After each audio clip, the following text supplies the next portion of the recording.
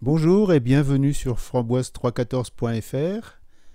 Aujourd'hui, je vais vous présenter une montre connectée, la Mibrocolor.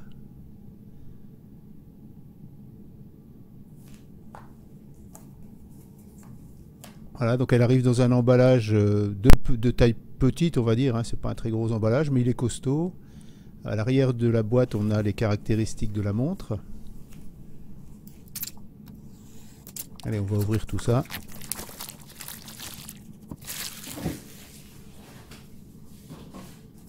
L'intérieur se glisse comme un tiroir pour l'extraire.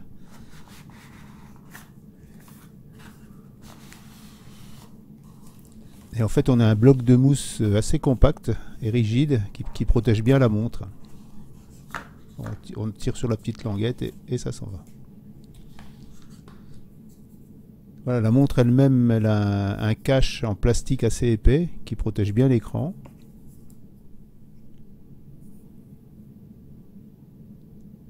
Puis à l'arrière, on va retrouver donc le, lecteur de, rythme cardiaque et puis les, connecteurs de charge. Voilà l'écran, bah, ça fait assez classe, hein. le, verre est biseauté, ça fait un peu, un peu luxueux, elle fait, elle fait 10 mm d'épaisseur à peine.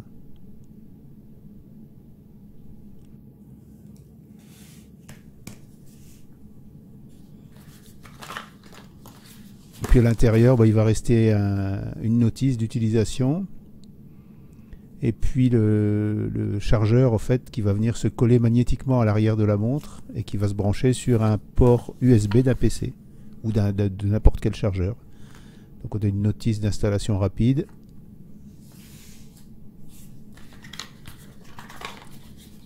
Et puis une notice plus détaillée avec les fonctions et puis comment accéder aux différentes fonctions. Ça vous le retrouverez en copie à l'intérieur de, l'article.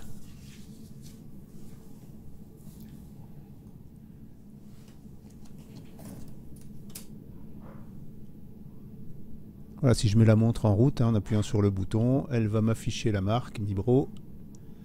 Et puis elle affiche euh, la langue. Donc là, je, je, la passe en français.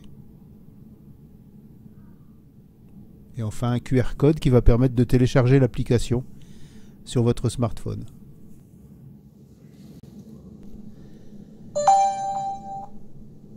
Voilà, si je scanne, je vais t'envoyer directement sur la page de téléchargement. Alors moi j'avais déjà une montre Mibro, ce qui fait que j'ai déjà l'application. Donc j'ai pas à la réinstaller, euh, je la mets simplement à jour.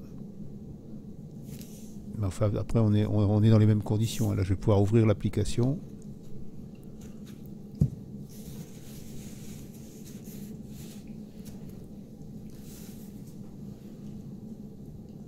Il faut avoir un compte chez Mibro hein, pour pouvoir utiliser cette application.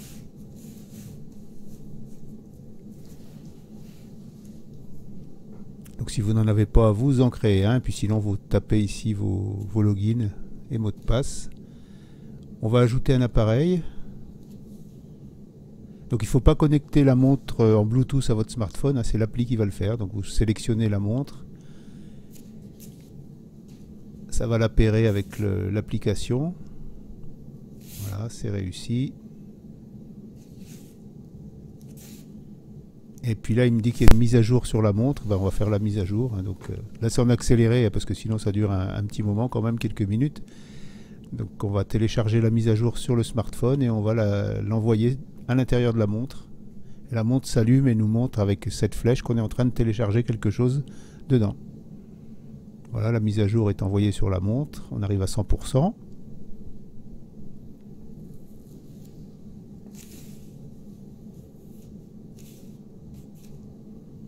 Et c'est parti. Donc là, on a un cadran qui s'affiche par défaut. Alors par, défaut aussi, euh, il n'y a que quelques secondes. Hein. je crois que c'est 5 secondes d'affichage. Ça, ça, peut faire un peu court. Moi, j'augmente toujours un peu. Alors ça diminue la durée de vie de la batterie, mais on a un peu plus le temps de lire. Donc là, dans les sports disponibles, il y en a une quinzaine, hein, donc euh, marche, vélo, euh, squash, etc. Donc tout ça pour enregistrer en fait vos paramètres d'activité.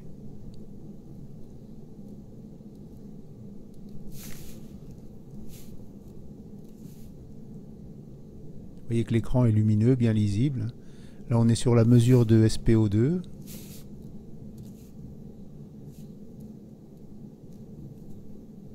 Le timer, enfin le chronomètre, ou le, le, sablier, on va dire. Là, c'est pour respirer, donc pour, pour vous détendre, ça vous donne un rythme de respiration.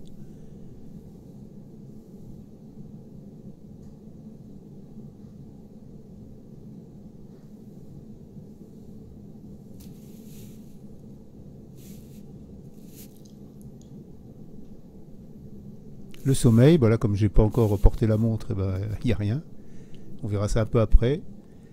La météo, c'est pareil. Tant qu'on n'a pas été connecté euh, à l'appli euh, et qu'elle n'a pas fait de mise à jour, c'est à peu près toutes les heures la mise à jour de la météo, le nombre de pas.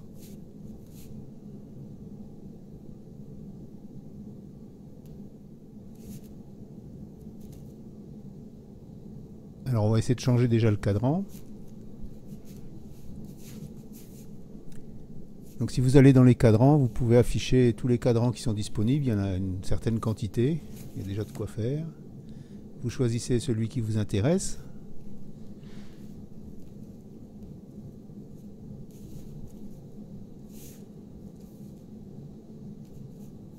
Et vous allez le télécharger dans la montre.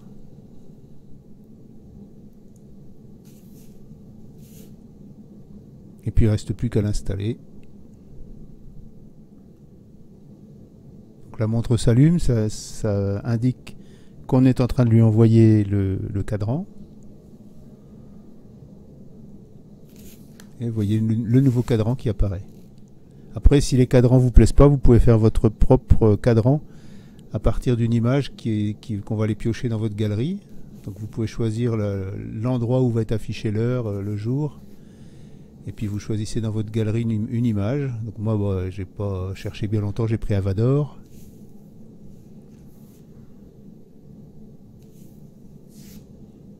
Recadrer bien entendu. Donc c'est cette image que je vais envoyer sur la montre.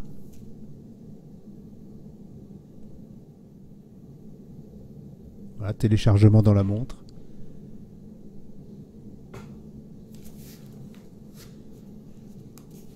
Et on a Vador sur l'écran.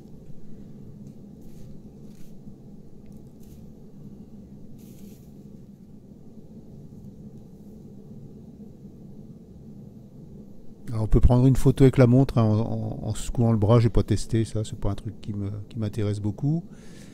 Euh, bon, mettre une alarme, ça c'est les classiques sur la montre. Hein. Vous pouvez configurer jusqu'à 8 heures de réveil.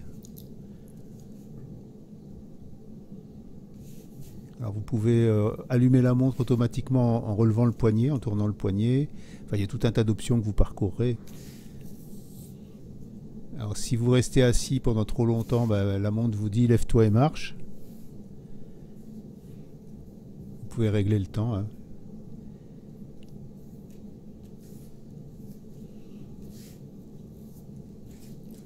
Voilà, j'ai mis 120 minutes. Et puis on peut autoriser ça de 9h à 22h par exemple là, c'est-à-dire que si, après 22h bah, je suis devant la télé, elle va pas me elle va pas m'embêter avec ça. les battements du cœur. C'est une lumière verte qui va mesurer le, passage du sang dans les vaisseaux sanguins. C'était sur mes doigts que ça battait. Hein. Et le SPO2, c'est une lumière rouge. On va mesurer le, rapport entre le, les globules rouges euh, qui transportent de l'oxygène et ceux qui n'en ont pas pour, déterminer le SPO2. La charge, bah, c'est ce petit euh, support qui va venir se coller magnétiquement. Donc on peut le mettre que dans un sens et on va brancher la prise sur un PC. Donc ce que je vais faire sur mon PC.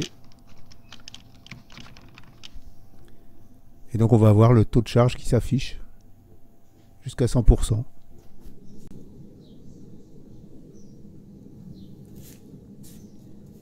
Alors, si on tient le doigt appuyé sur le cadran, on va pouvoir changer l'écran en fonction de ce qui est déjà enregistré dans la montre. Donc là, vous tenez le doigt dessus, ça passe en mode changer d'écran et vous pouvez changer les écrans. Je crois qu'il doit y en avoir 6 d'enregistrer dans la montre. La, finesse est belle, hein. on, a un bel affichage sur l'écran. Alors après, si on balaye vers le bas, on peut accéder aux paramètres, à l'arrêt de la montre. Donc dans les paramètres, la luminosité, euh, soulever le poignet, vous pouvez le régler là aussi. Le délai de mise en veille, donc là moi je mets un peu plus parce que 10, 5 secondes ça me semble un peu juste. Après on a ne pas déranger, les réglages, de la vibration. Donc ça c'est l'intensité de la vibration. on, va pouvoir régler le, moteur de vibration de la montre en fait pour, pour savoir, euh, pour être averti rechanger la langue. Enfin il y, a tout un tas de paramètres qu'on va pouvoir euh, changer à partir de ce menu.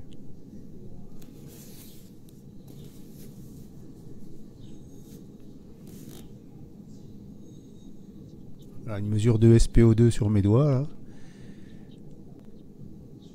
C'est un peu en accéléré. Et on a 97% de saturation d'oxygène, c'est pas mal.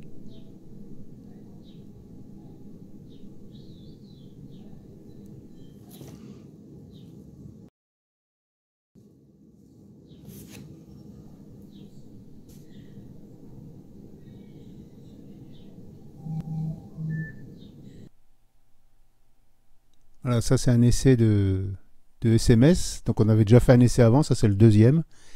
Et vous allez voir que quand je balaye pour rentrer dans les messages, ben, j'ai reçu deux fois le même SMS, mais on aurait pu euh, changer de, SMS. Donc on, a bien le nom qui, est enregistré dans votre agenda, en fait, hein, dans l'agenda de votre smartphone. Plus à côté le message qui vous a été envoyé.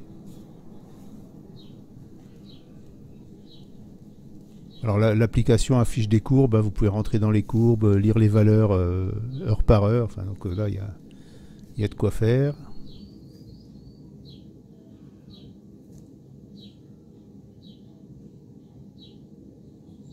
Le suivi de sommeil, ben là, il n'y avait pas de données. Alors le suivi de sommeil, c'est particulier, les données sont effacées à partir de midi. C'est-à-dire que vous pouvez les consulter jusqu'à midi de la même journée. Après, elles sont remises à zéro. Alors que là, en ayant dormi avec la montre, eh ben, j'ai 8 heures, euh, heures de sommeil et 2h49 euh, de sommeil euh, profond et 5 heures de sommeil paradoxal. Donc sinon, bah, on, va avoir l'affichage des pas, la météo, là elle est à jour puisque c'est connecté depuis un moment, et puis on va tester la musique. Donc j'ai mis du Spotify, j'espère que YouTube va pas me couper la musique. Voilà, donc ça permet bah, d'avancer une chanson, de, mettre en pause.